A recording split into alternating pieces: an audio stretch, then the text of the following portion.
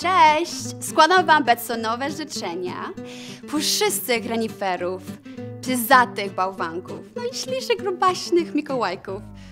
Dobra, dobra, ale teraz już na serio. Mamy 3000 takich czapek i kazali mi je rozdać.